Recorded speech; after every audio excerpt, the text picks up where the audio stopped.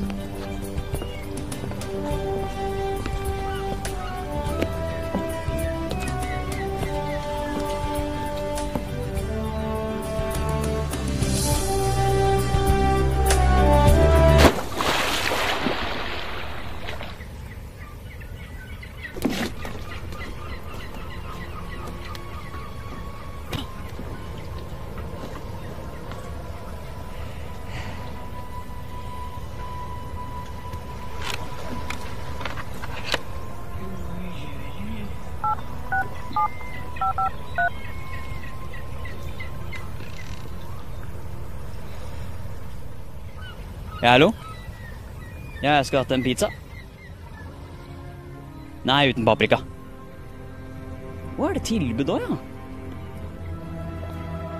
Da tar jeg selvfølgelig det.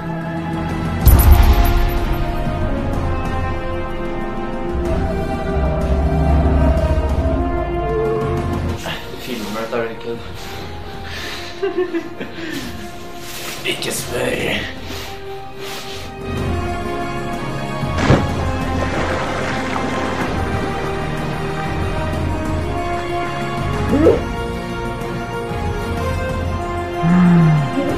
Mm-hmm.